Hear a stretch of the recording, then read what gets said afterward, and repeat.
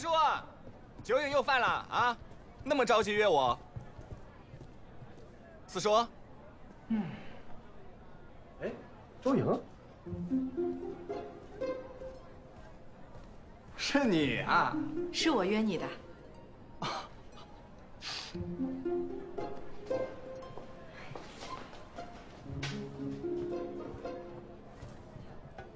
怎么样，想我了？沈公子，你别忘了，我们只是朋友。我知道了，朋友之间也可以互相挂念的嘛。哎，你先坐，我有重要的事情跟你商量。坐。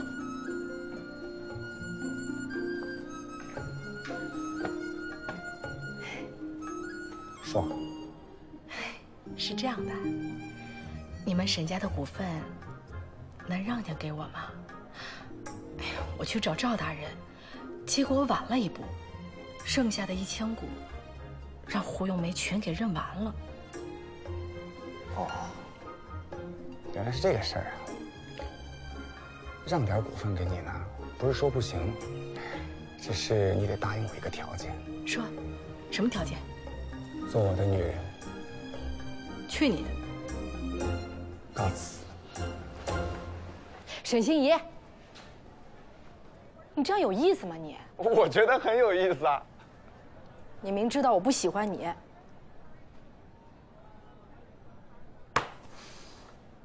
可是我喜欢你。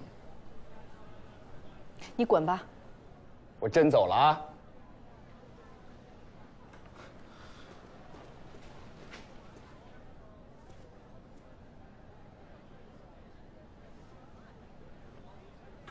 不是，哎，要不然这样吧，你亲我一口也算。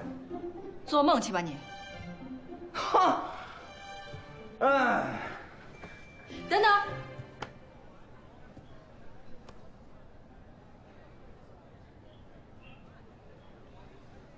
那你打算让多少股份给我？啊，让多少股份哈？亲一口，给一百股。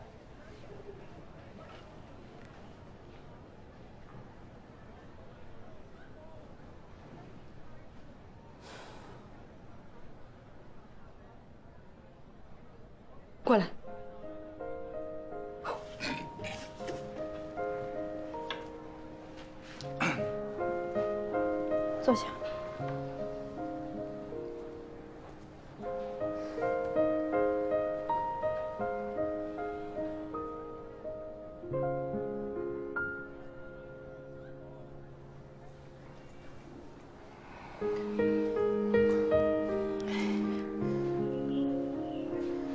眼睛闭上。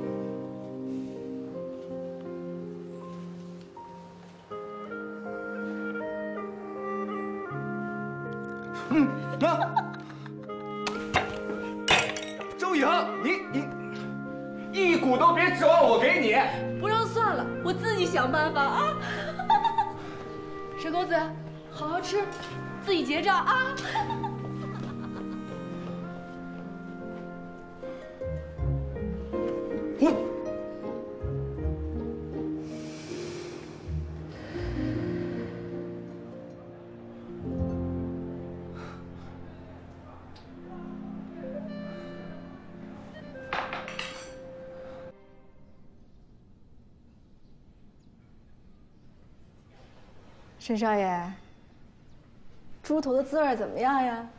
还不错，咸淡适中，美味可口，跟我梦想中的一模一样。那要不要再来一口？好啊，不过上次那头太肥了，今天换一头吧。你想换哪头？我对面那头。我看你是很久没挨踢了吧？你要是敢踢我，我们那一千股可就不给你了。你说什么？我们沈家的一千股，我打算全部让给你。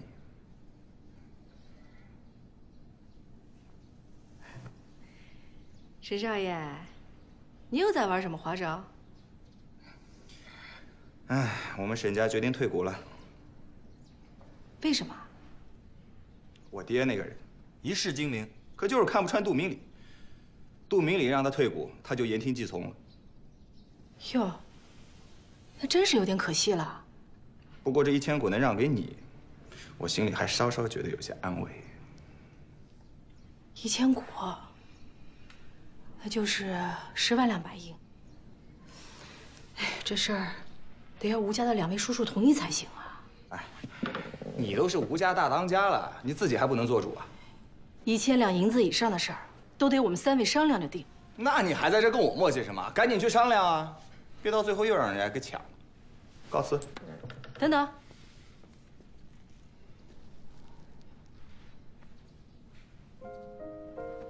你今天怎么不跟我提条件？反正我提的条件你又不答应我，还不如我不提，让你欠我一个人情。行，算我欠你一次。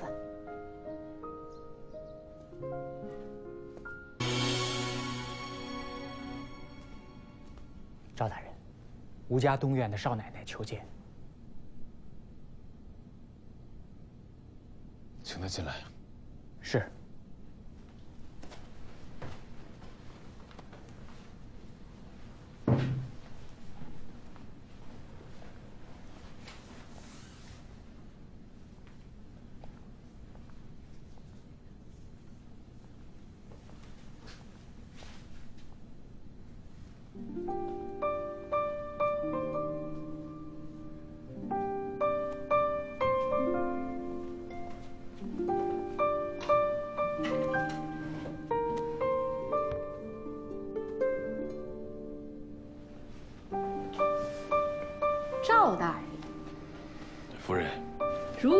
没猜错的话，赵大人正在为沈家退股的事情烦恼吧？你怎么知道？我会看相啊。既然沈家退出了，那我就有机会了。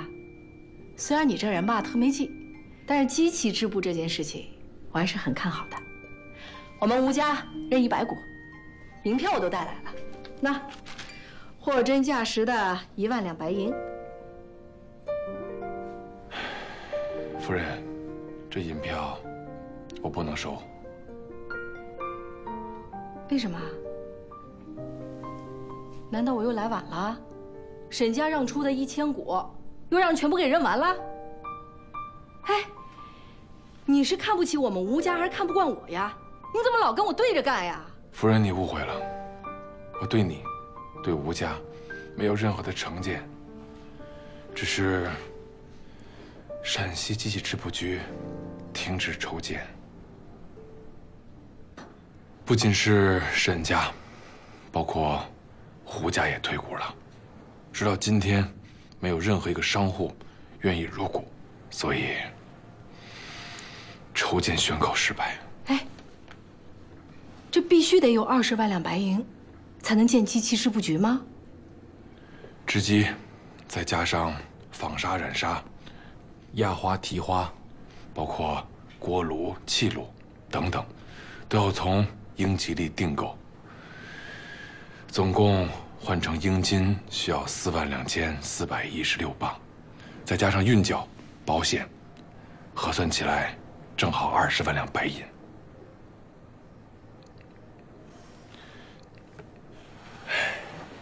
我就不明白了，这一百两一股对于陕西的商人来说算是什么？为什么就没有有识之士呢？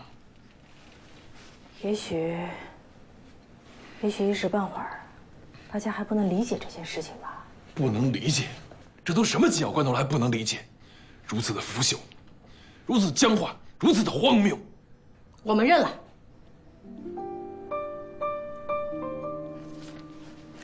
赵大人，机器织布局的二十万两白银，我们吴家全认了。你你再说一次，机器织布局不能停。这可是二十万两白银啊！我相信，只要机器织布局开起来，这二十万两白银一定会十倍百倍的赚回来。到那时，今天这些犹豫的人全部都会后悔。这一点我可以向你保证。上海机器织布局开工了才几个月，已经开始盈利，而且，这对国家来讲也是大好事一件呀。这名利双收的事情，我为什么不干？可你就不怕那些谣言成真？赵大人，我爹是个赌徒，我呢，多少也有几分赌性。这件事情，我赌定了。好，我和你一起赌，继续筹建。那我赶紧回去筹款。吴家还有两位叔叔呢，要说服他们，说不定还费一番口舌呢。先告辞了。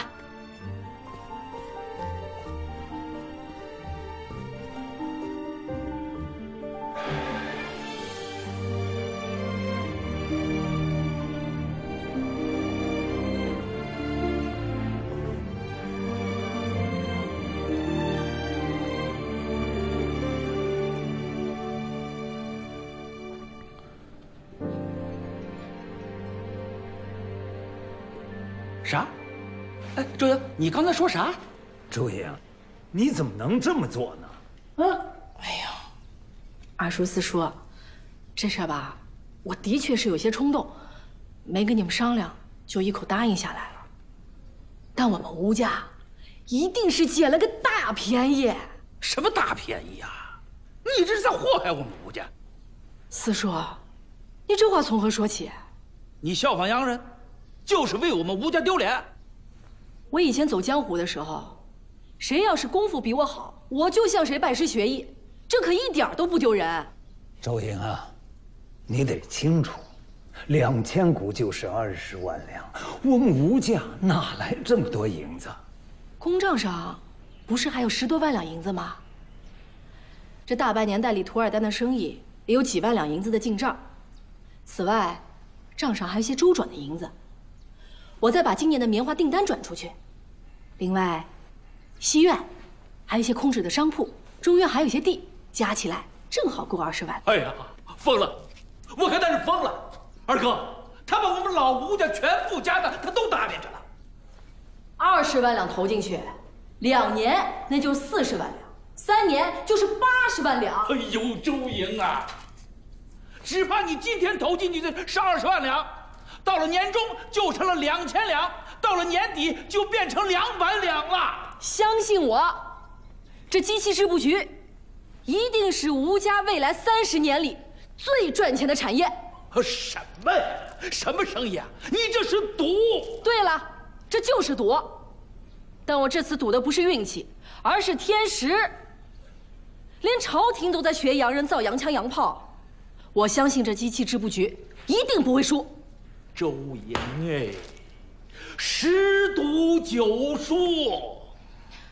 哎呀，二叔，你说句话嘛！二哥，你说，你你你说。周莹，要不这样，我们先认两百股。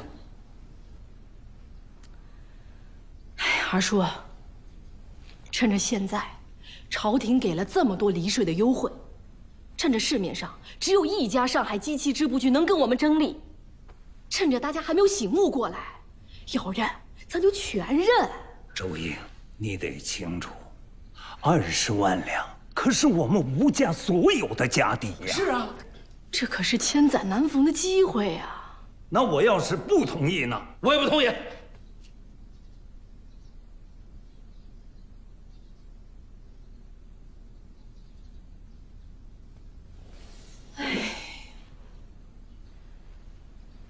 二叔，我就跟你说句实话吧，我已经答应赵大人。答应了也不行，这么大的事儿，必须由咱们三个统一做主。这赵大人已经在着手订购机器了，我们现在撒手不管，他要是一生气，做出什么事儿来，那我可就不知道。看看，看看二哥，他都干了些什么呀？你说。让我再想想。二十万两银子，那周英是把咱们吴家往败家的路上领了。哎，二哥，我跟你说，这事千万不能依着他啊！可他的背后有赵大人撑腰。那你说吧，怎么办？我倒有个主意，说，如果周莹不是吴家大当家的，那么他说的话就不能代表吴家，也不能做吴家的主。至于他在赵大人面前吹牛，认多少多少，那他的事儿跟我们没关系。你的意思是说，不让周莹再当这个大当家的了？对，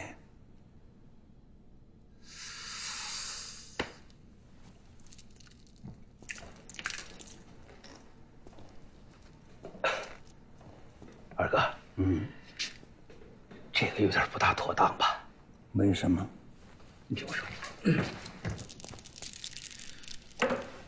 虽然周莹在入股这件事情上办的有些鲁莽，可周莹自从当了我们这个家，咱们吴家的生意是翻了一番多呀。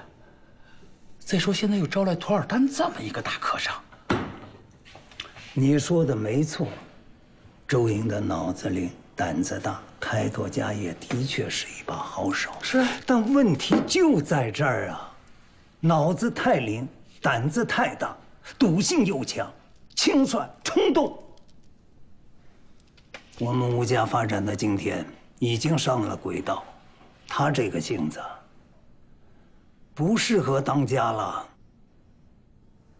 那你说他不当这个家，谁来当呢？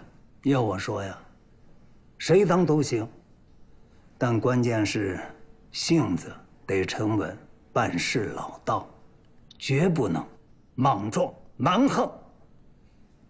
老四，你说呢？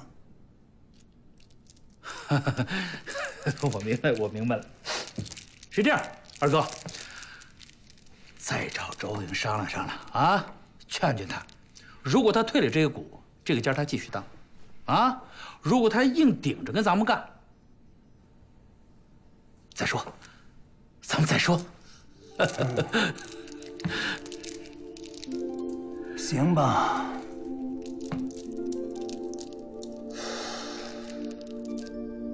我倒是有个主意啊，快说。先斩后奏，反正钱都是他管啊。这么干不符合规矩。但是少奶奶，如果你下定决心，我没意见。如果我还在跑江湖，那什么规矩都拦不住我。可我现在是吴家的大当家，我也是带头这么干，那底下就全乱了。不能这么干。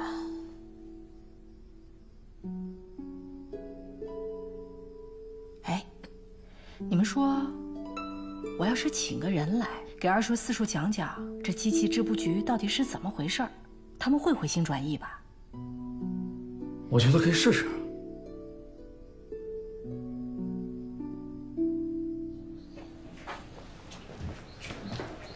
叔四叔，里面请。来，里面坐坐。周阳，你这是叫我们来干什么呀？我今天啊，专门请了一位先生，来给两位叔叔讲讲机器织布是怎么回事我保证你们听了之后，对机器织布不会再有疑虑了。哦，什么先生？你们见了就知道了。有请约瑟夫先生。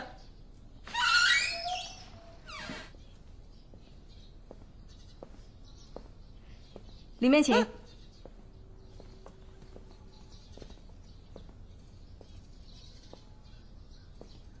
我很高兴见到你们。这样啊，洋人，你请的是一位杨老师。约瑟夫先生是唯一一个见过机器织布的人，我请他来教教我吧。他读过圣贤书吗？他知道礼义廉耻吗？我们凭什么听他说教啊？孔圣人不是说了吗？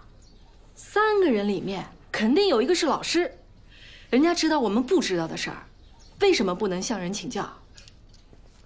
你让我低三下四的听一个洋人说教，我吴卫全这一辈子都不会低这个头。老四，先别激动。什么别激动啊，二哥，这把洋人都请到家里来了，成何体统？大胆妄为到这种程度，你说句话呀！这洋人又不是洪水猛兽，周莹，太莽撞了。我也是为我们吴家好。行了行了，谢谢你，别为我们吴家好了，行吗？你再这样，真不知道把我们吴家折腾成什么样了。二哥，我提议让他把十一堂大印交出来，这个大当家的别当了。我不同意。我同意。二叔，四叔，我可什么都没做错。这已经大错特错了，还什么都没错。是。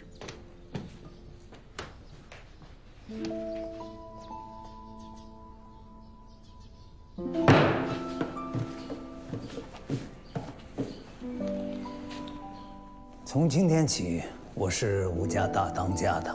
我宣布。哎，哎，事儿还没说完呢，怎么就走了？这这这。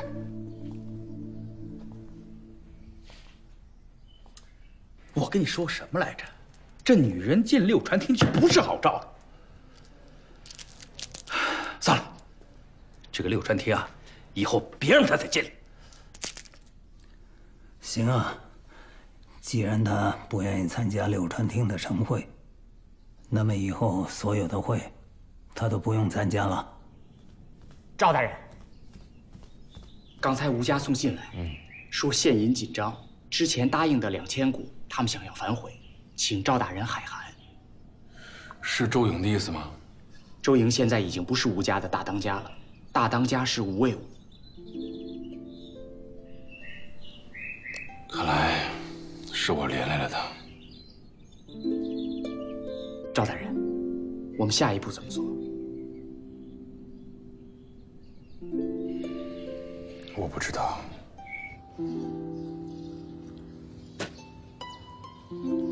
小颖，哎，帮我拿个挖耳勺来。好。我就不明白了，当初你为了拿到市一堂的大印，差点连命都搭进去了，怎么他们让你交，你就交出去了？当初我要那十一堂大印，是想通过这大印把这三院团结起来，做些大事。但现在，这二叔四叔话里话外的不信任我，我再强留这大印也没什么意思了。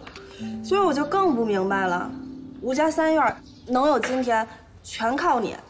眼看着日子才刚刚兴旺起来，他们就过河拆桥，不让你当大当家，这这也太那啥了。所以干脆啊，我连六传厅都不去。那你甘心吗？当然不甘心啊。不过我做了这么多年大当家。也该歇歇喽。对，让他们也尝尝当大当家什么滋味儿，看人挑担不吃力，让他们也吃吃苦、受受累，才知道你这些年做的有多不容易。等他们挑不动这担子的时候，自然会来求。原来你打的是这主意啊！哎，不过错过机器织布局真是可惜。还有那赵大人，我在他面前夸下了海口，现在食言了，他肯定要骂死我。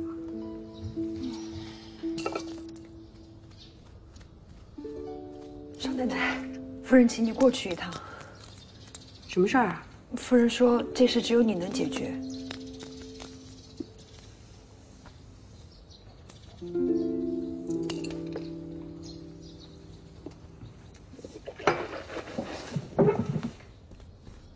什么？把韩三春和千红撵出去？嗯，这韩三春干的挺好的。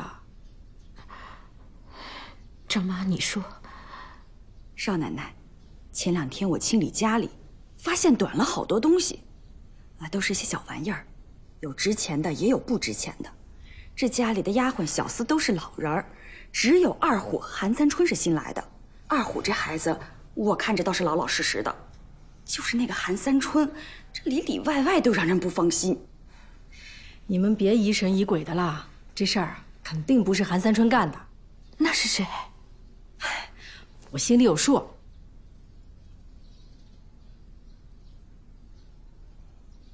就算不是他，你也想个办法，把他们两口子支出去吧。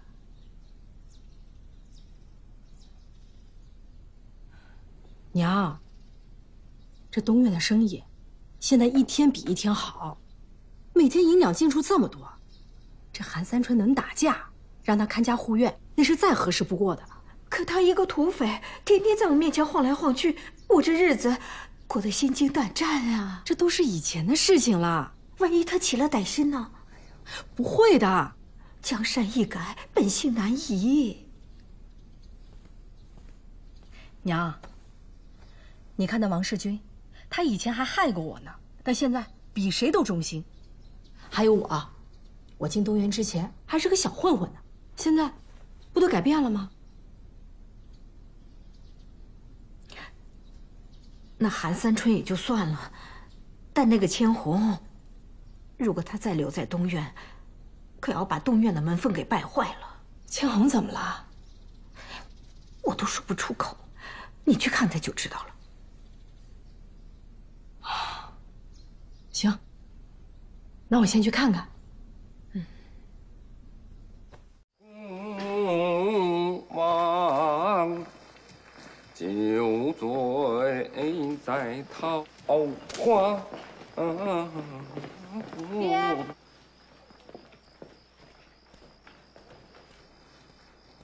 什么事儿？安抚眉深。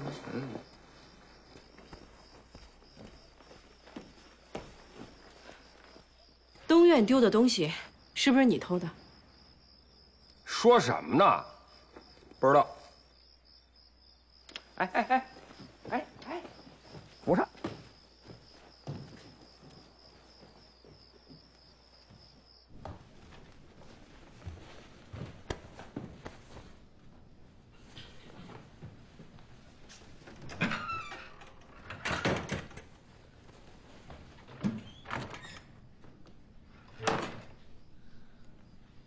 你偷的东西都藏哪儿了？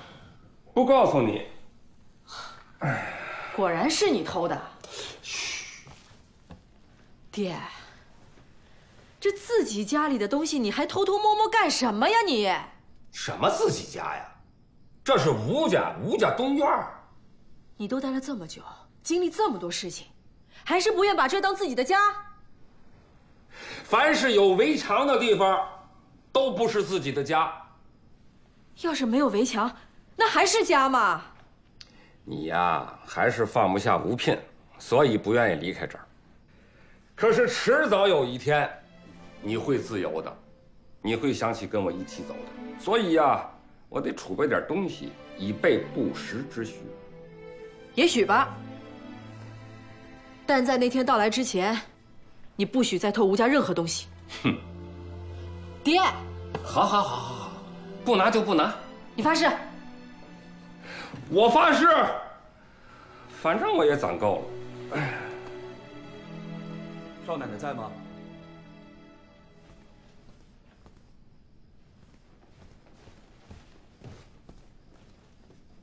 少奶奶，韩先生，哎，少奶奶，韩先生。少奶奶，嗯，我是来跟你告别的。你要去哪儿啊？还没想好。你是不是听到了什么风言风语？这个你不用理会，我来帮你解决。不是。那是在东院不习惯？不，少奶奶，我现在有吃有喝的，生活有规律，再也不像以前那样提心吊胆的过日子了。还有个事儿，挺好的。既然这样，那能不能不走？你一身武艺又能带兵，这东岳肯定会越来越需要你的。少奶奶，其实我也不想走，但是千红她不想留在这儿。为什么？她就想去一个不知道我们底细的地方安家。这样，你能不能先别做决定，让我先跟千红聊聊？行。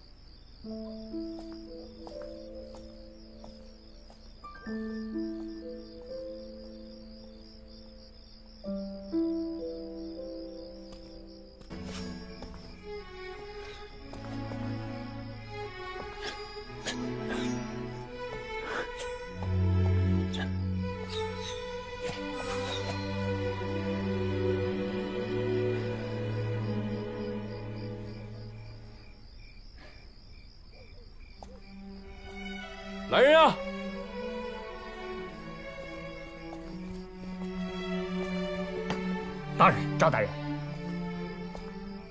吴先生，你陪我走一趟汉中安康，看看那边有没有客商愿意入股。是。郭先生，你帮我起草一封信，问问张先生，那洋机器可否分期付款？是。赵大人，您还是不愿意放弃。出师未捷，壮志未酬，锲而舍之，朽木不折。锲而不舍，金石可镂。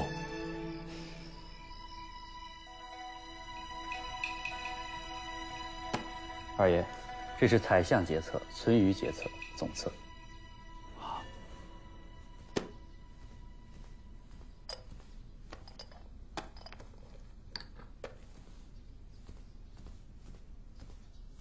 这是交关总、霍总、杂项总部总部。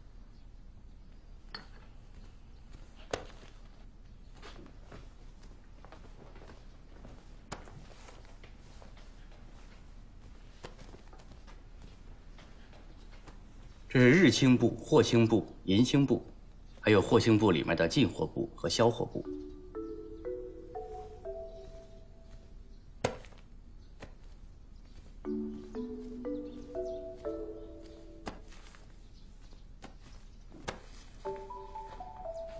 这是草流、细流。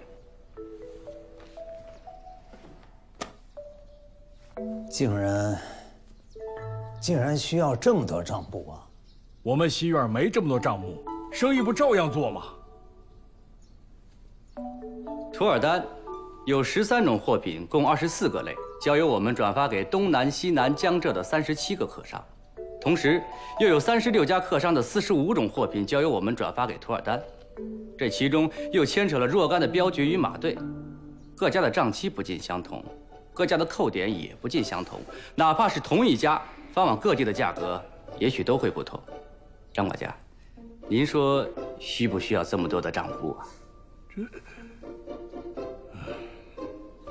好了，以后就有劳舒先生了，我倒是料得轻松了。二爷，嗯，我这儿有一些事情要跟张管家交接一下。啊，说吧。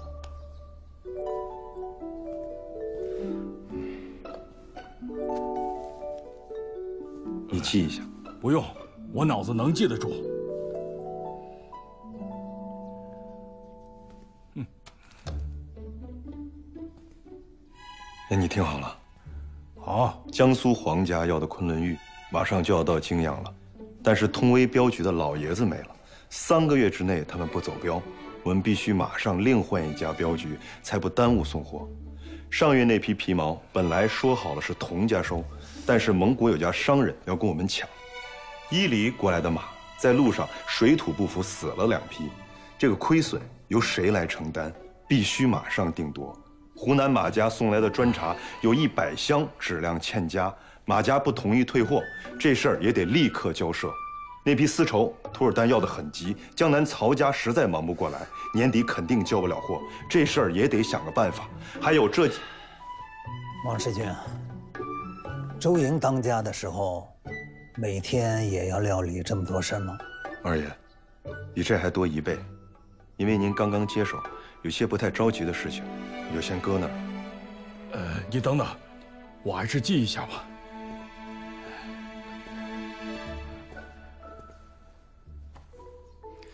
好，从头说。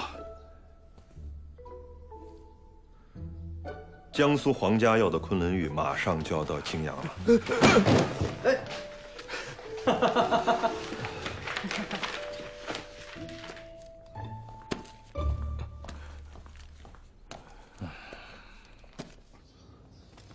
呀，你看看这花开的多漂亮啊！啊，对呀、今年这花开的特别好。大嫂，老话不是说了吗？这花开呀，喜事来。嫂子啊，你最近是不是特别累啊？哎呀，不好意思，不好意思，我最近都没管上，不好意思啊，脸色不好，我来晚了，可能心情不好吧。不好意思啊。啊啊，呃今天天气特别好啊。所以啊，我特意把大家约出来看看花。对，看花。那我们到前面凉亭里坐坐。来来来，啊，挺好，走。哎，对对对，咱们去去去去歇一会儿啊！走走走走走，快。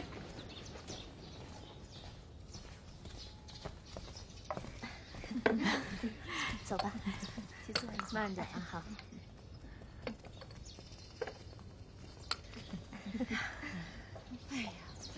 你看看，你看，今年花开的真美啊！你看看那边的，才好看呢。那个多好看呀，真是挺好看的。你看啊，嗯，真香啊！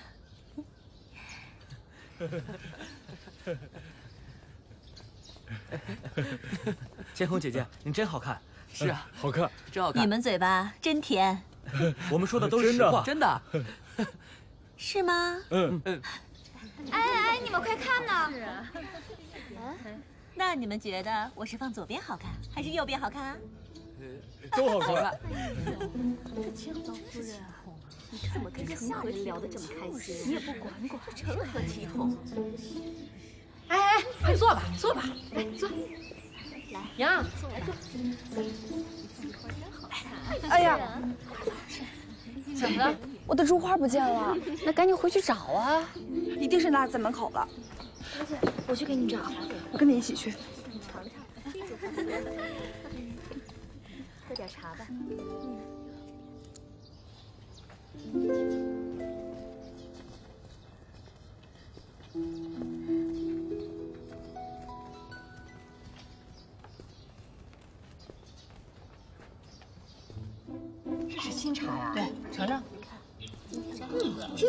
嗯。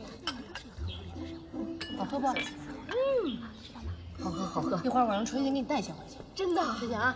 哎呦，太好了，谢谢你啊，周莹。周莹，坐好。千红，千红，来来来，过来坐。来来来，尝尝今年的新茶。来，谢谢。哟，这花真好看。你喜欢啊？我帮你摘一朵。别别，太红了。红才好吗？看看，别吃那么多瓜子了，吃那么多娘不好。我小厨房还有好吃的呢。一会儿还吃别的呢，别吃那么多了。你坐了我的凳子。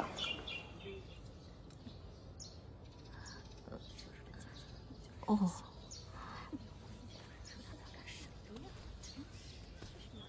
何香，拿帕子来，把凳子好好擦擦。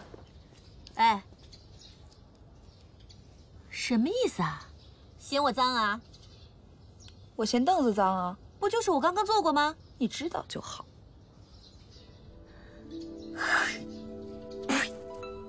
哼，一小姐，坐吧。坐了之后一辈子都洗不干净啊！你干嘛？哎呀，完蛋了你！你吸了我的气啊！你不再是冰清玉洁了。娘，你你怎么这样对我的孩子啊？你你是个什么东西？敢到我们家来撒野？你太欺负人了！你明明是他欺负我的，你是出人多少了？不就一张凳子吗？来来来，姨妹妹过来过来，来来坐我的，过来。来来来，姨妹妹来来来来坐我的，坐我的，坐着啊！哎呀，这么好的天气，还顾得上生气？快吃个枣，不生气了啊！你看，生气小脸都不漂亮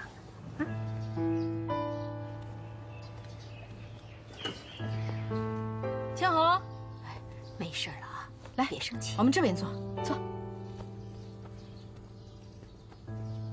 你也真是，跟小孩生什么气？青红，你今年多大了呀？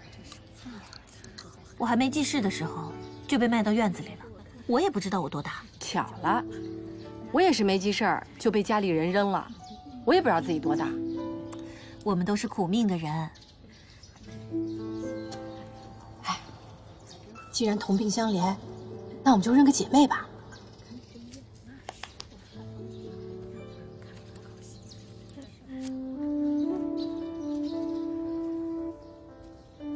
这有两根草，一根长一根短。谁要抽到长的，谁就姐姐。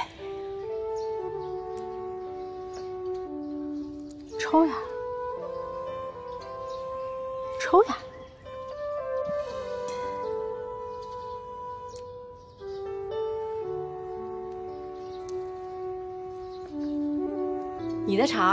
你是姐姐。从今往后，我就是你妹妹了。一妹妹，这是我新认的姐姐。从今往后，你见她也得跟见着姐姐一样啊。姐，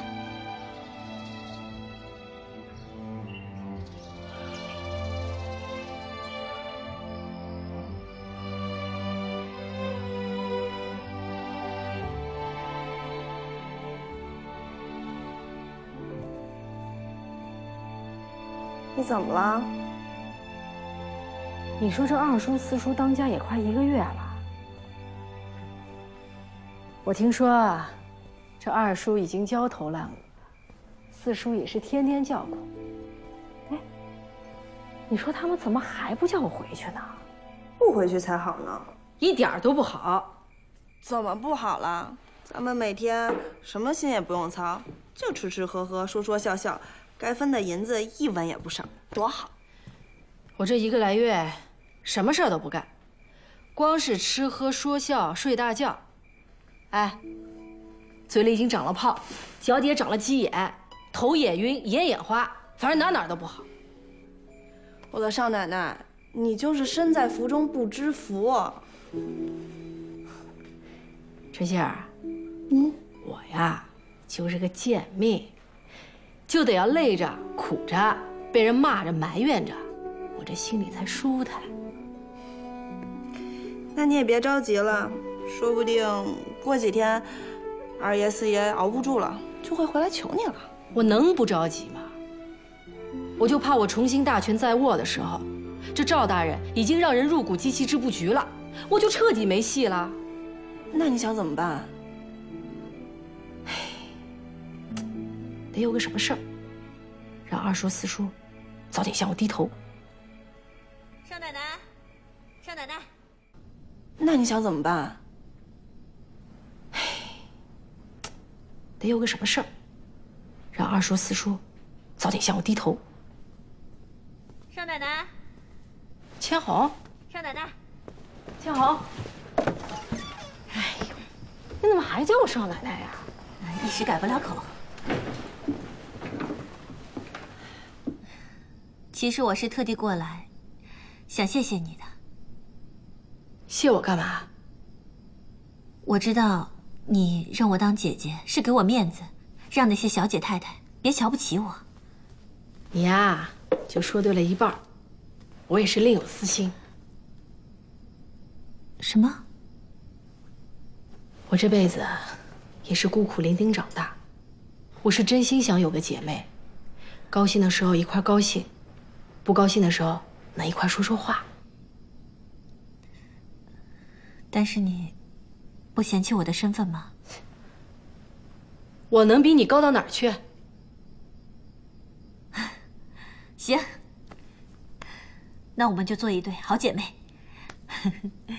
好姐妹，你和韩三春就别走了，留下来陪我。哎呀，不走了，不走了，反正我没想到去哪儿。再说，你现在是我妹妹，谁敢再拿脸色给我看啊？你那么厉害，把人家巫医都给吓哭了，谁敢拿脸色给你看呀？哎，谁让他嫌弃我？姐，这有时候吧，我还真要劝你两句，你说话做事还真得注意点儿。我怎么了？就比如你这打扮，打扮？我打扮怎么了？不好看吗？好看，但就有点太好看了。你说我的打扮，你过来。我还要说你的打扮呢，你的衣服多久没换过了啊？你这样子怎么可能吸引到男人啊？你别忘了啊，我是个寡妇。寡妇就寡妇呗，寡妇不可以打扮的漂漂亮亮的吸引男人啊？你是我的妹妹，我才会这么劝你。第一，别把自己当寡妇，想怎么样就怎么样。第二，有机会不当寡妇，千万别放过。嗯？你说什么？我说你呀，你看，多漂亮，又年轻，你真的要为那个吴聘守一辈子寡吗？多不划算啊！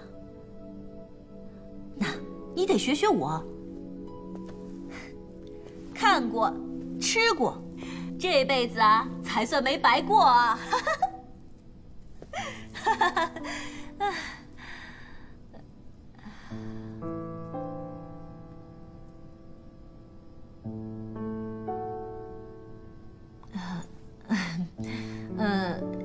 时间不早了，我先回去了。我刚刚说的话，你自己琢磨琢磨一下，啊？我走了。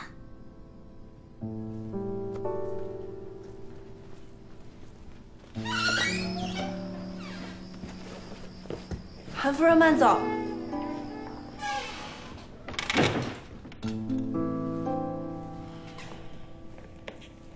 这个千红，也不怕被拉出去陈塘。嗨他也是为了我好。你会像他说的那样吗？不会。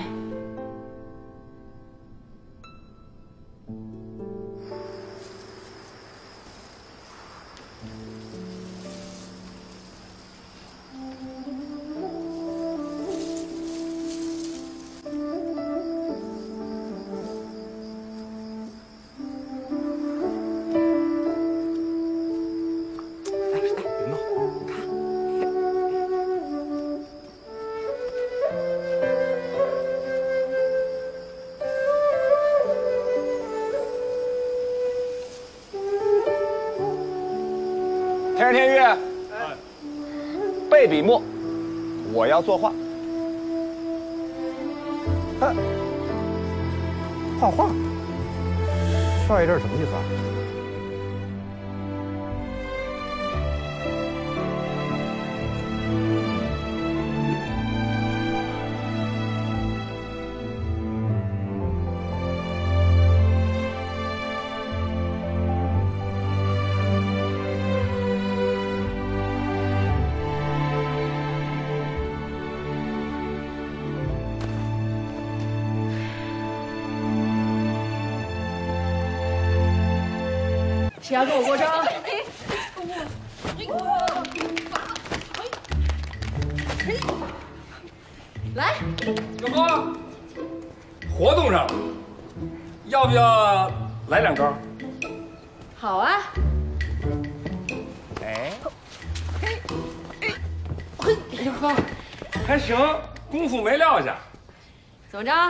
上街去还能挣到钱不？能。哎，要不咱们父女俩一走了之吧？现在走啊？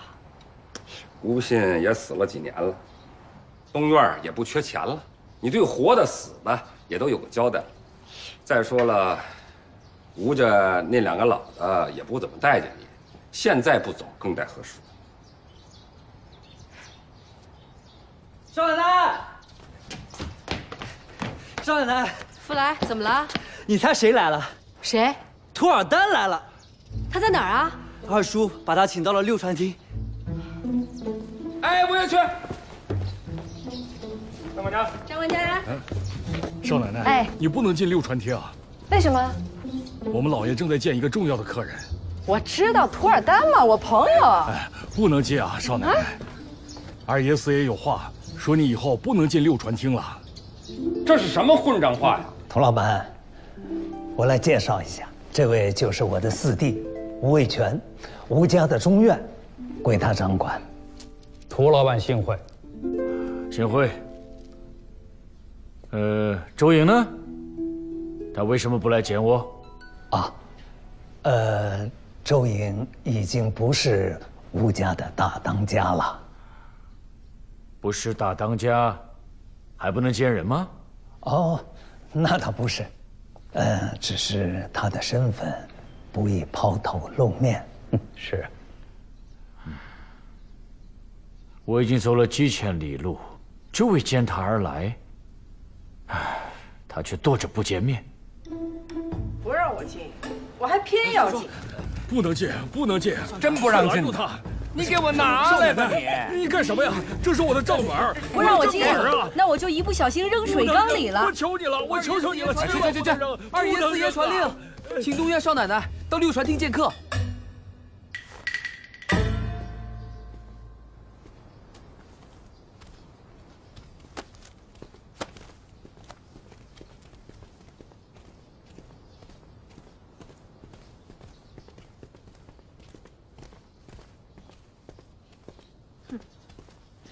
让我进，我还偏不进了。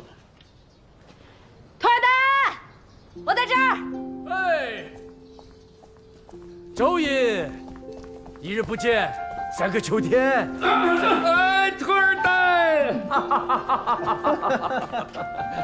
哎呀，好像是几百年没有见到你们了。我也没想到这么快就能看见你。那我们进去聊吧。哎，别别，我没资格进那个厅。我们就在这儿聊吧，正好晒晒太阳。来来来，坐坐坐。嗯，好，请。哎呀，你不是说了吗？最早明年才会来。哎，是的。但是我对我自己说，我必须早日去陕西，去泾阳，我要去看周寅。所以我就把我其他的事全部推后，提前来了。你来的正好，我正好有事跟你商量。哎，有什么好商量的？你说了算。真的？当然。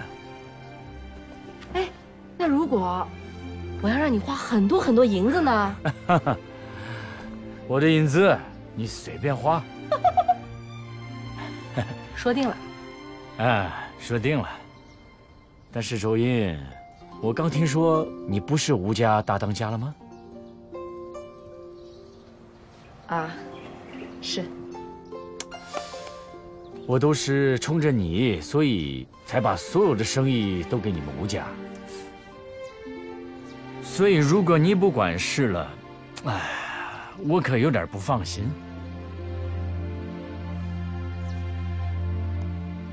哎，其实我吧，我经常也……呃涂老板是这样，呃，周莹呢，她不是不管事，只是管的不像以前那么多了。但是你的生意还是归他照看的。嗯，好，那行。我们一起来敬涂老板啊！欢迎欢迎欢迎，谢谢谢谢谢谢，欢迎欢迎欢迎欢迎欢迎欢迎！哎，涂老板，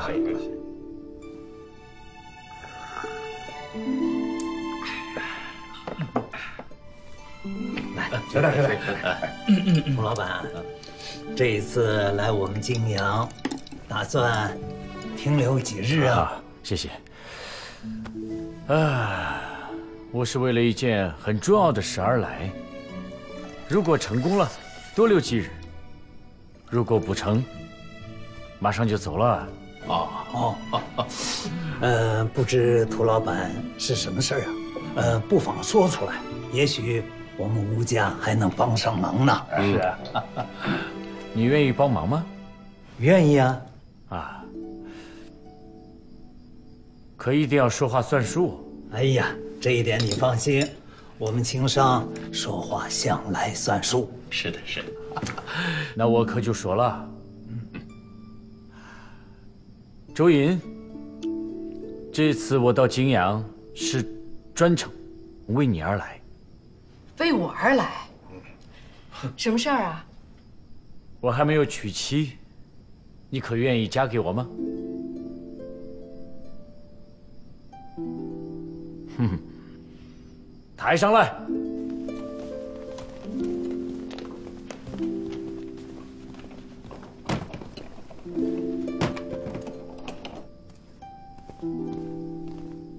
周莹，你来。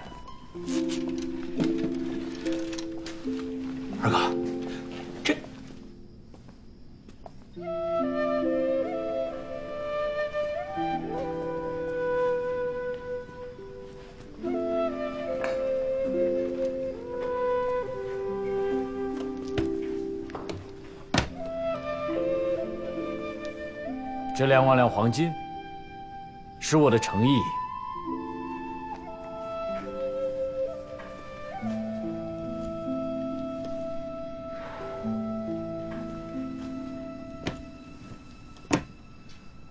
你不是说你没见过真正的薛莲吗？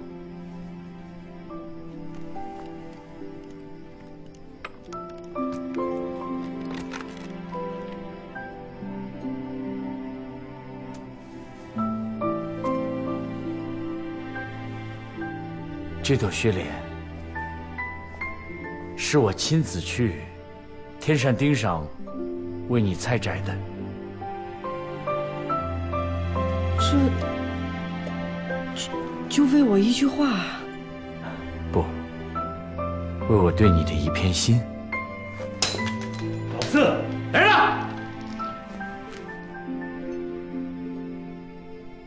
佟老板，这里面可能有误会，你还不知道周莹的身份吧？她是我们吴家的寡妇。我知道，她的丈夫很久前已经去世了。知道你还……但是现在她没有丈夫，我也可以做她的丈夫。这简直是礼仪尽废，毫无廉耻。周莹，你嫁给我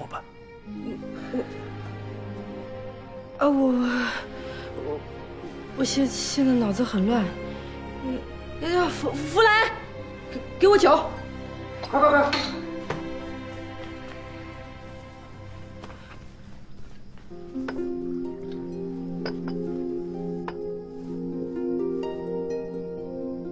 吴老板，你请回吧。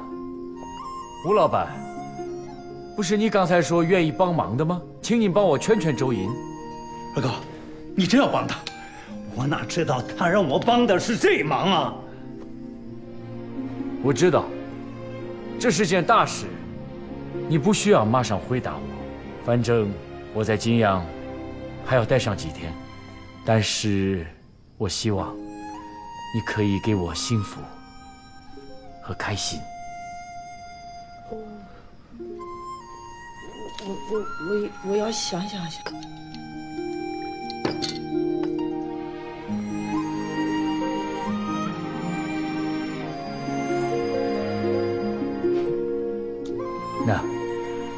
我就等着你回答我。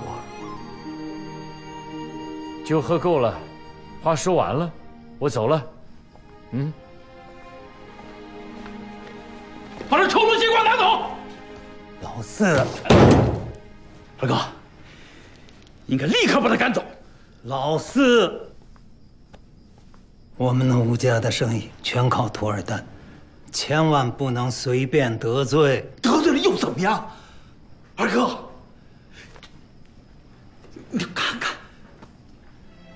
你们几个听好，刚才的事情一律不许外传，都散了吧。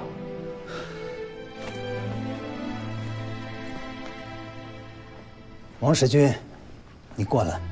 二爷，找几个人把这金子看好。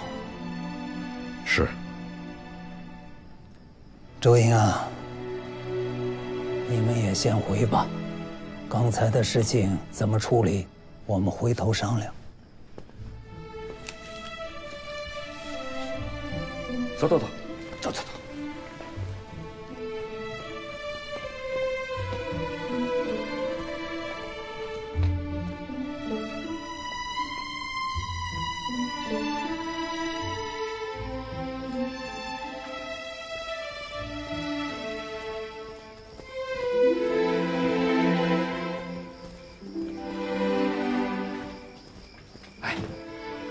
是怎么打算的？你觉着呢？答应他呀！为什么呀？一出手就是两万两黄金，那比沈家可有钱呐！都这么多年过去了，只要一有机会，你还是想把我给卖了。我这不是为你好吗？好，好，好，好，好，咱就说这朵花，人家爬了这么高的山把它摘下来，又大费周折带到泾阳，就这片心也不容易啊！人财两得，这是多美的事儿啊！四叔、少奶奶，宴席这么早就散了？嗯，哎，这是什么呀？别动！这是图尔丹的一颗心。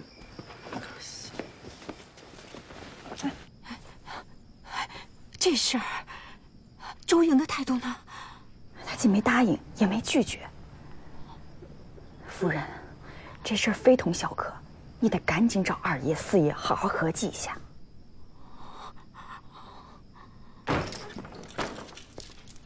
这个臭钱的耀武扬威的，到了趟迪化啊，给我招蜂惹蝶的，把老吴家的脸都丢尽了。钱谁办呀？但也不能为了钱不要脸。让我说，就该一顿乱棍把他打出去，还客客气气把他送走。老爷啊，又骂谁呢？都骂。要我说呀，你骂也白骂。周莹啊，真要是想嫁人，你们谁也拦不住。哎，嫁谁嫁谁去，还真以为老吴家没人了。我说老爷，我说句实话，人家周莹把生意做成这样，已经对得起你们老吴家了。她真要是想改嫁呀，反正我是说不出一个不字来。愚昧村妇，愚昧村妇！你，你干啥去啊？找二哥。真是个老倔头子。那还了得呀！周莹如果有节操，那就应该当场拒绝。可他偏偏含糊其辞，让涂尔丹继续存有念想。周莹也不是名门杰女。只不过是一个江湖艺人出身，前几天还和一个从善的戏子拜了姐妹，还谈什么节操？老爷，东岳夫人来了。哟大嫂啊，老二，老二，这可怎么办呀？大嫂啊，你别着急，我正在想办法啊。你请坐。哎，要不你跟老四发个话，跟那托尔丹断绝往来，再也不准他上门。哎呀，这恐怕不行。现在吴家的生意全部仰仗图尔丹。哎，你想挣人家的银子，人家可惦记着你的人呀。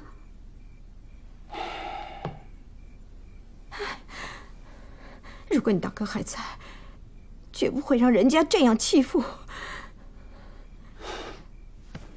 大嫂，你放心，我一定想一个妥善的办法，既让图尔丹打消这个荒唐的念头，也不至于得罪他。二哥二嫂，哟，大嫂也在。哎，老四，你要给我们东院做主。哎，你放心，啊，大不了跟这个图尔丹咱们一拍两散。老四。你别动不动就说这话。如果真和图尔丹散伙，我们三家的日子都不好过。二哥，你怕得罪图尔丹，我可不怕啊！我不是怕，我是觉得没这个必要。而且这件事情的关键不在图尔丹，而在周莹。对呀，只要周莹的心定了，那图尔丹就是搬一个金山来，也没有用。那怎么办呢？哎，要不然这样，嗯，咱们再跟周莹谈谈这个守节的道理。和周莹谈守节没用。不过周莹对吴聘倒是情深意重，也许从这个角度能让他有所醒悟。毕竟吴聘也走了好几年了。不管怎么说，咱们先弄清楚。周莹是怎么想的。吴一不是和周莹挺要好的吗？这样，让我女儿去探探她的口气。哎，这行。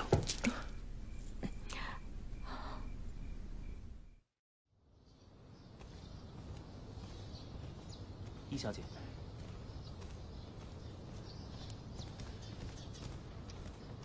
哼！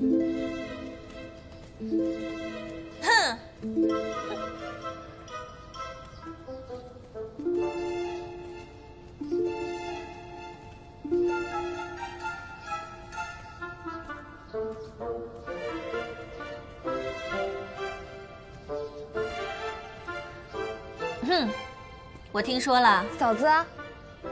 哟，你也来了。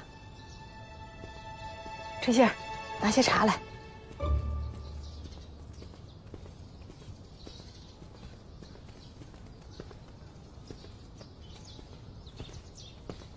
你会离开吴家吗？哎呀，我现在心里乱得很。你真的要嫁给那个图尔丹吗？我一直把他当朋友，当生意搭档，我从没想过要嫁给他。那就好了，那你还乱什么？可这是两万两黄金，就是二十万两白银，有了这些钱，我那机器织布局就可以办起来了。一个机器织布局，难道比你一辈子的幸福更重要吗？我们作为女人已经够苦的了，如果嫁一个自己不爱的男人过一辈子的话，那还不如去死呢。你呀，你是我的妹妹，我当然不愿意你守一辈子的寡，所以呢，我支持你去找男人，但是要找的话，要找一个自己爱的。如果不爱，别说是黄金万两，哪怕把金山送给你，你都不能嫁。不嫁，不嫁啊。但是如果你喜欢他的话，不管怎么样，你都要把他抓住。怎么抓？你要抓谁啊？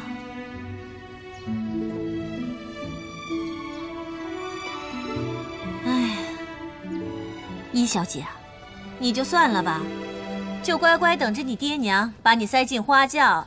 你呀，不像我们这种女人，天天想着怎么把男人抓住。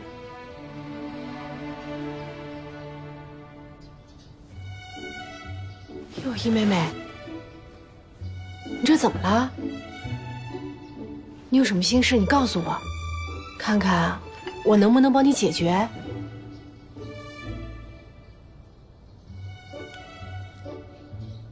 高岭冷家托人到我们家来提亲。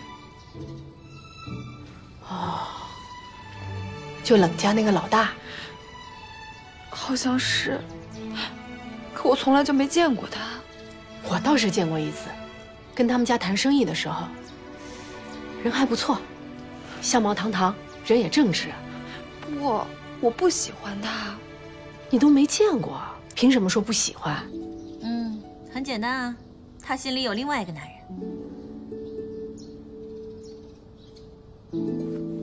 千红说的对吗？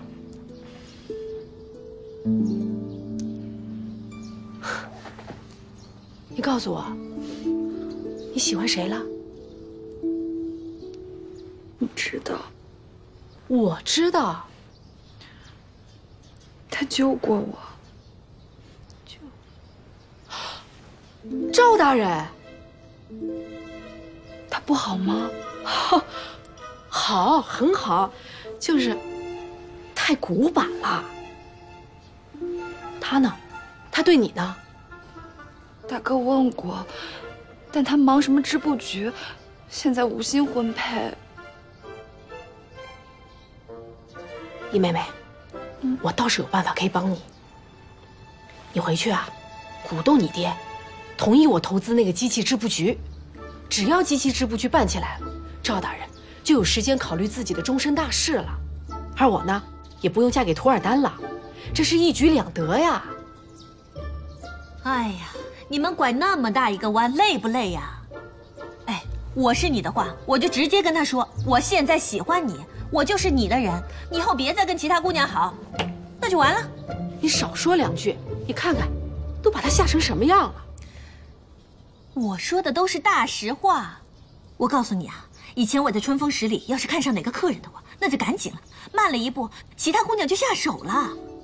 我们现在谈的不是春风十里的事儿，不也是男人和女人那点事儿吗？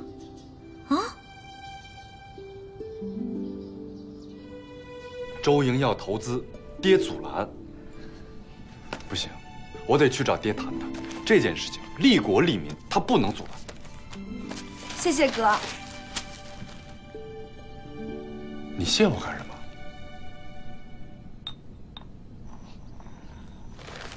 哦，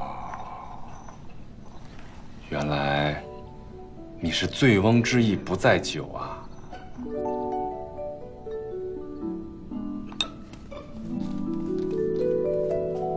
兔二蛋，不够意思啊你！什么意思？都来到泾阳了，你不先来找我，我还是听别人说你来的。哎，我是要找你，只是我有另外的事情要做。哎，来都来了，干嘛匆匆忙忙的呀？我跟你说，泾阳这个地方啊，好吃好喝好玩的可多了，我可以带你去逛。你要想去西安也可以，哎，去京城都没问题的。啊，我这次要办一件很重要的事情，事情没办完，哪儿也不去。什么事情啊，那么神秘？哎，你跟我说，我帮你。你不能，我不能。哎，在泾阳这个地方啊，没有我们沈家办不了的事儿。就算你能，你也不会帮我。兔二代，咱俩是兄弟呀，你的事儿就是我的事儿，你说出来我一定帮你。你说，我不能说。哦，不把我当兄弟是不是？没有，不是这个。那不是你就说，你快点，你别让我着急，你快说快说。说啊！啊！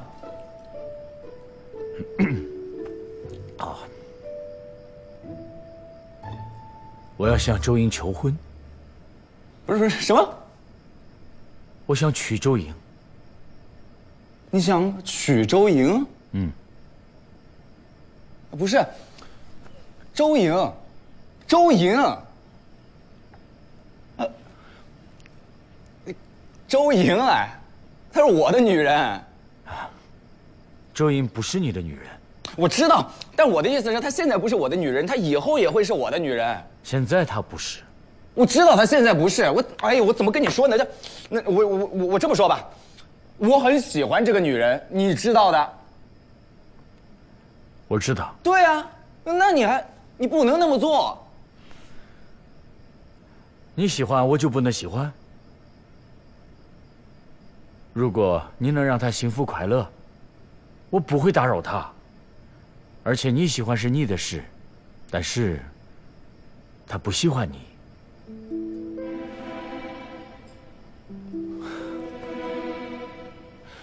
兔二蛋，你怎么知道周莹就不喜欢我？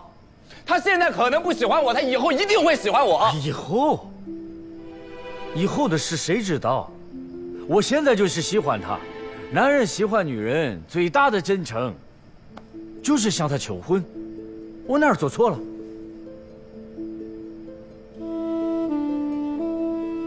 你没做错，你做的都对。我跟你说，从这顿饭开始，咱们俩不是兄弟，永远不再是了。走，是你让我说的。现在你要跟我绝交？你这不是出尔反尔吗？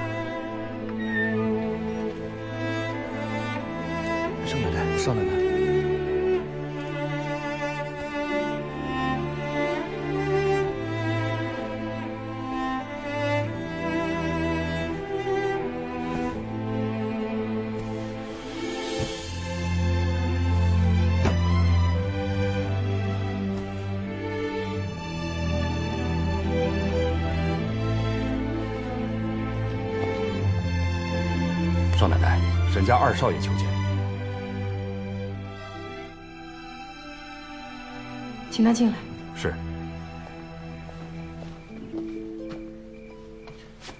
周英，你是不是答应要嫁给涂尔丹了？这跟你有什么关系？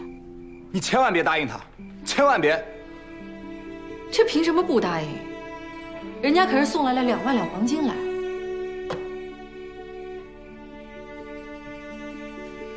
那我出三万两黄金，你是不是愿意嫁给我？我讨厌你，我不嫁。我出五万两呢？不嫁。十万？不嫁。你出多少钱我都不嫁。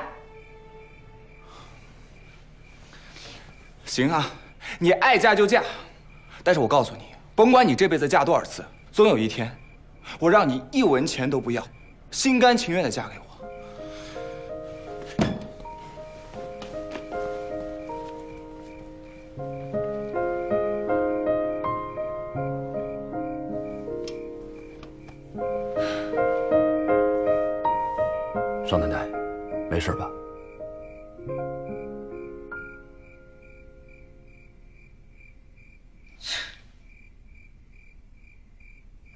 什么图尔丹说送两万两黄金给我，我会感动？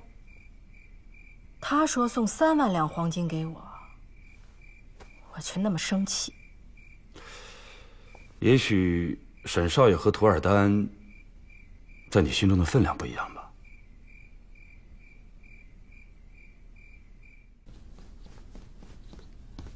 娘，这么早啊，杏儿？有件特别重要的事儿，你一定要帮帮我。什么事儿啊？娘，我看上了一个姑娘，你帮我去跟她提亲呗。终于想通了。我早就想通了，只是，只是咱们家平时生意不是太忙了吗？看上哪家的姑娘了？是吴家的。吴家。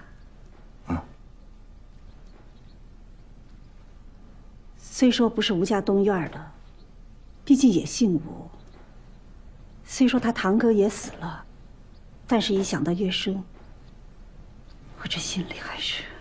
不是娘，你说谁呢？你说的不是吴家西院的吴一？不是他。那是谁呀？娘，娘，你还记得以前咱们家有个丫鬟？我本来打算是收了她的，没想到让她给跑了。记得，那个把我气得胃痛了好几日的丫鬟。就是她。她？哎，你看上的不是吴家的姑娘吧？怎么又变成一个丫鬟了？是她不是吴家的丫鬟，她是。她，她离开我们家以后就嫁给了吴聘了吗？什么？那个寡妇？绝对不行！娘，我真的很喜欢她的。杏儿，你从小要什么我都给你，但这事儿绝对不行啊！你现在不去求亲的话，她真的要答应嫁给别人了。大谢天谢地！娘，当我求你了还不行吗？我跟你说啊，娘什么都能答应你，但是你要娶一个寡妇，还是吴家东院的寡妇，这事儿绝对不行。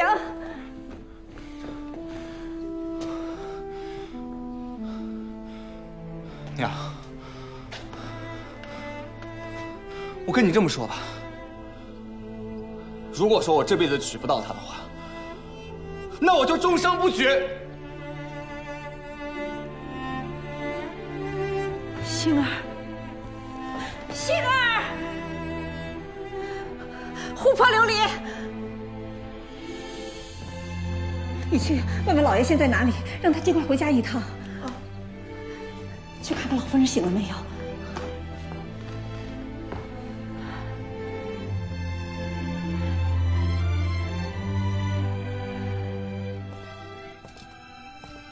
嗯，周莹呢？这我们二位都到了，她怎么还没来呀？四爷，已经派人去请少奶奶了。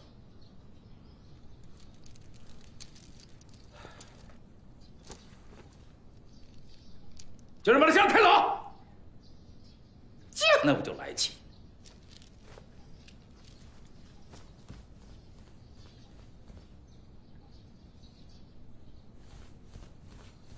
怎么了？少奶奶一早就出去了，去哪儿了？去拜访图尔丹了。看看，送上门去了，这太不恪守妇道了。老子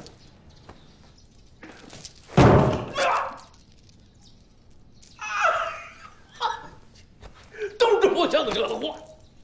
哎呀！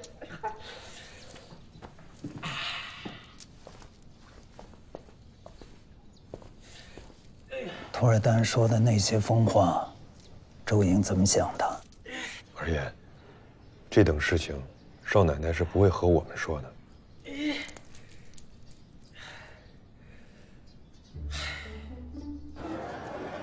周莹，接下来呢，我准备去布哈尔汗，那个地方地处偏僻，现在还非常非常的荒芜，所以我的下一个目标是要打通那里的商路。那太好了，你愿意帮助我吗？没问题。哦，好极了。这边请。请。我还想说，这条商路呢？我上个月给你的茶叶就是这种，都是同一片茶山采摘的。嗯，不错。我给你的价格啊，比这标价还又便宜了两成。啊，这么便宜？不过他们是有条件的，明年还从他们这里拿货，比今年至少多五百箱。我已经答应他们了。啊，那好，如果我不要那么多呢？明年你不是要打通那个那个叫布哈尔汗的商路吗？一定会大量消耗茶叶，说不定五百箱不够。周莹，你真是料神如是。走，我带你去看看丝绸。嗯。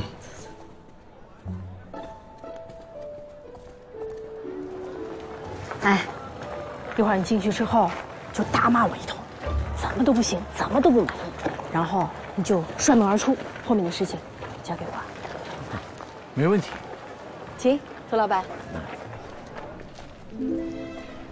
哦，夫人。哎，涂老板，你看看这家的丝绸，这家的丝绸，是我从几十家丝绸世家里面优中选优选出来的。这也叫优中选优吗？这是卢家出的，这品质品牌都不比曹家差。我已经跟你说过好多次了，我只要曹家的，你还想做我的生意吗？你要不先看看？不看。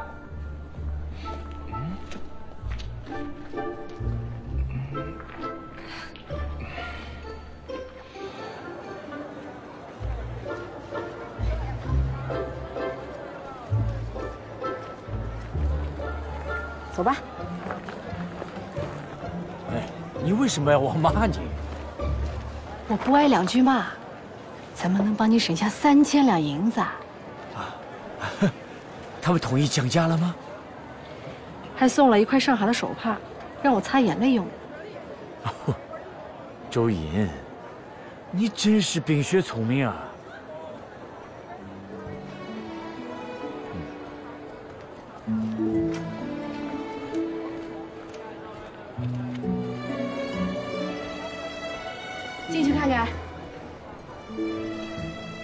哎，你好。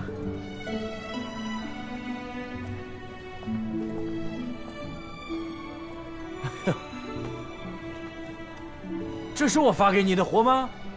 对。哎呀，因为我记得我给你发的货都是正张的皮子，这不是这样鸡零狗碎的。这叫鸡零狗碎？嗯。这叫款式。你好好看看，我把你一整张皮子剪裁成时下最流行，你看这帽子、坎肩、披风，我费尽心思把你一张皮子卖成两张皮子的价钱，你还嫌弃鸡零狗碎你？好，我错了，你是对的。一会儿多罚你三杯。哎，行行行。哎，土二蛋，嗯，前些日子我和沈心怡发给你那些土布都卖完了吗？嗯，已经买完了，你再发给我一点好吗？我要是再发土布给你，那就是害你了。哼，为什么？我带你去看一样东西。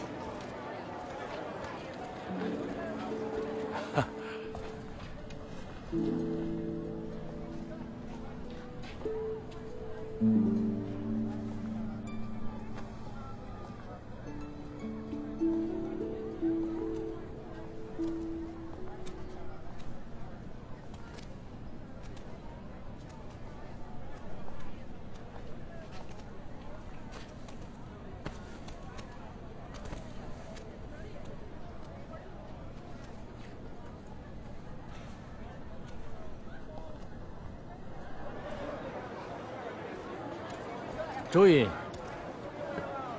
姐，这洋布怎么样？嘿，很不错。其实我以前试着买过洋布，但是价格太贵了。那个时候价格是现在的七八倍，所以根本卖不出去。但如果是现在的价格，肯定能卖光。那如果只是这现在的价格三分之一呢？哈哇！还有这样的养布吗？有啊，哈，二哥，咱不能再由着他们这么下去了啊！我 的好二哥呀，你说句话呀，咱必须当机立断，采取措施了。你让我再想想。想，啥事都是想，还想。这事要是传出去，吴家闹出大笑话了。别着急，你不急是吧？好，你在这坐着，我急。叫几个人跟我走，去哪儿啊？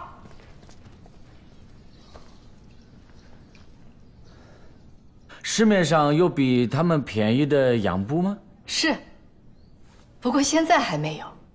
那什么时候有吗？如果我们有了自己的机器织布局，那就有了。所以你的意思是我们自己生产洋布吗？是。现在陕西机器织布局正在筹建当中，官府负责订购机器，并且给予税吏的优惠和保护。只要我们能出资二十万两白银，就可以占股八成。这就是你昨天说的有重要的事情要跟我商量。是，我是非常看好这件事情，但是 我没那么多钱。土二蛋，你愿意和我一起入股吗？嗯，周银，如果你愿意嫁给我，你别说二十万两，就算二百万两。都随便你花，土二丹，我相信无论是在中土还是在新疆，肯定有不少女人想嫁给你，你何必要看上我呢？因为你是我见过的最特别的女人。可我是个寡妇啊。那又怎么了？在我身边人的眼里，我是个不祥的女人，是个灾星。你身边人的想法我不管，我只知道。在我眼中，你是我的最美的雪莲。土二丹，别这样行吗？哎，我也不想这样。我土二蛋，在迪化从来都是自由的雄鹰，但自从你来了迪化，又离开我，我就失去了我的自由。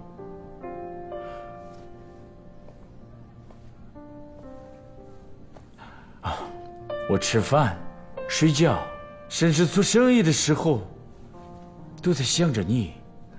哎，我本来准备九月来看你，但是，但是我实在等不及了。而且，沈心也会惊讶了。他看你的眼神，跟我看你的眼神是一样的。说实话，我怕你。被他抢走。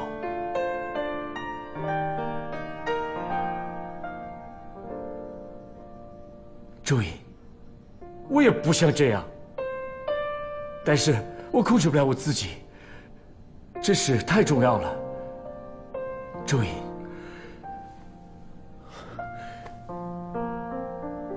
你嫁给我吧。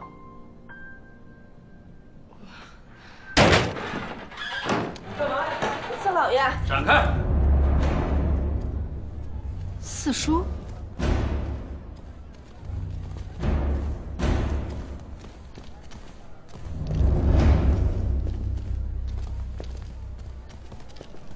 侄媳妇儿，你该回家了。我和涂老板在谈事情呢。现在二哥是大当家的，有什么事儿，请涂老板给二哥谈。可我们谈的是私事儿。私事儿也要跟二哥谈。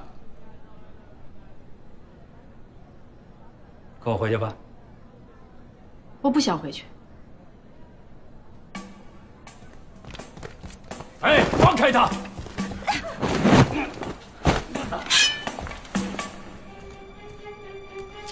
胡老板，我们吴家的事儿，我不希望你插手。四叔，你这是干嘛？胡老板，这儿是泾阳，走。干什么？你们要干什么？谁也别想当着我的面把周莹带走。周莹是我们吴家的人，周莹是我的人。我谁的人都不是。四叔，我若真想改嫁，就凭你，也拦不住我。我是你的长辈，我管你是天经地义的。周莹，你这是干什么？好身手，我喜欢。赶紧把它烧了，免得外人笑话。四叔，只要是我想做的事情，也拦不住。赶紧把它烧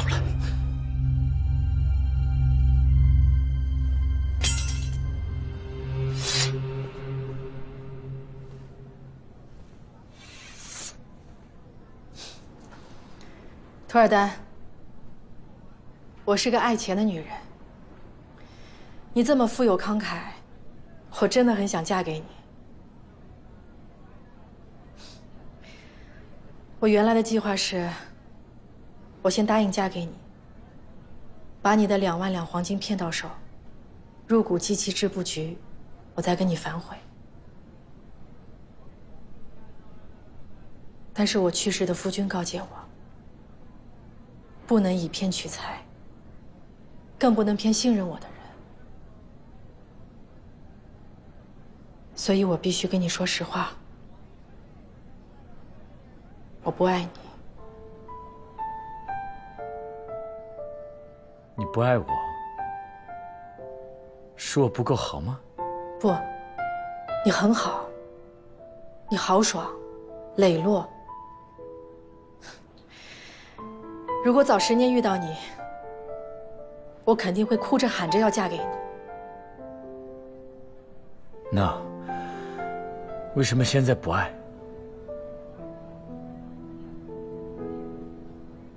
爱一个人需要用心，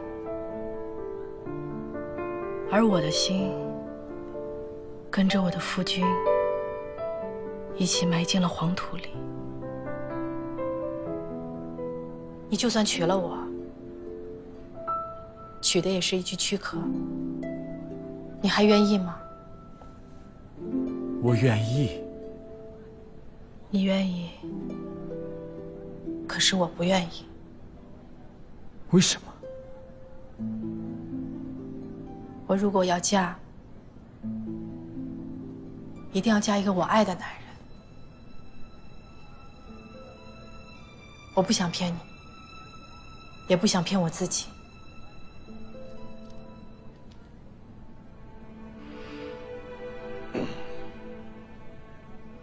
那如果这样的话，我不会跟你入股，还会停掉所有的生意。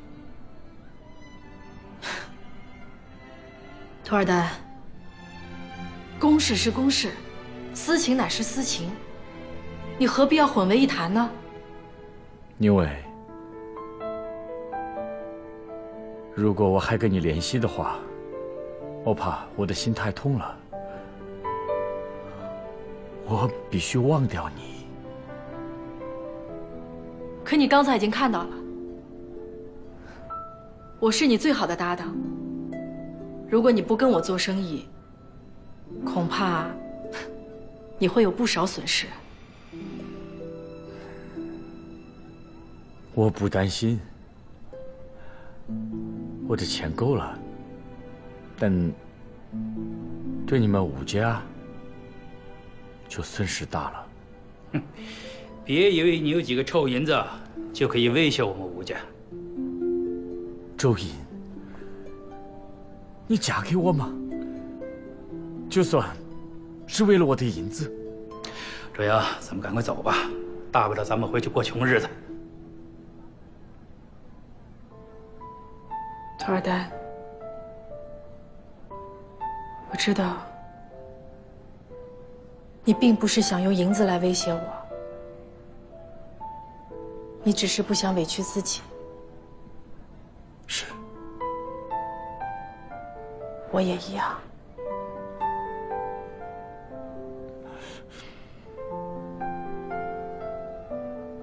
我明白了。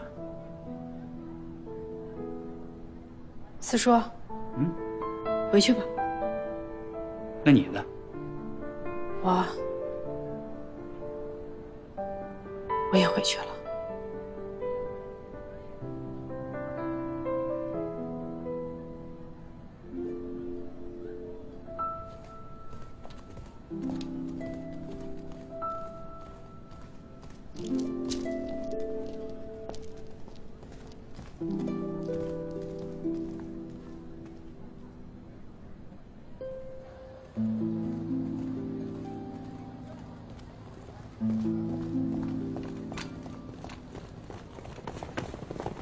放开少奶奶！